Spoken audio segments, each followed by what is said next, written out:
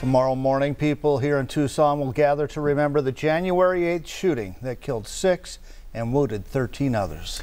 It's been nine years since that fateful day that changed the Tucson community. News 4 Tucson's Mark Manguro spoke with survivors and has more. It's new at 10. Today, Tucsonans will never forget, and soon a memorial will pay tribute to all of those who lost their lives that horrific day. It shocked our community and it shocked the country.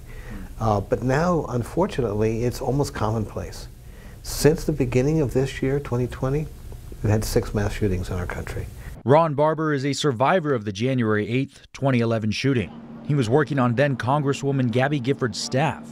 Others with him during the shooting say they are constantly reminded of that day. In the nine years since, I think being a part of this club, every time there is a shooting, I get a phone call from another survivor, from the press, from even my own family asking, Are you okay? How are you doing? The club he's referring to is Gun Violence Survivors. Hernandez was a 20 year old intern at the time, five days into his work on Giffords' staff. For me, it was a really traumatic and really kind of painful experience that I still kind of have to deal with all the time. For survivors, the anniversary is a day of mixed emotions where they remember the horrific events, but also remember the good that came from it. As the days went on, uh, the community just rose up with such love and compassion.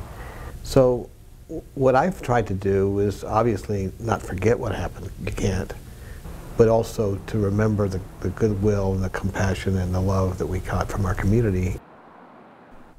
Bells will ring tomorrow morning at 1010, the exact moment the shooting started. The memorial will be at El Presidio Park in downtown. In the studio, I'm Mark Magura, News 4 Tucson.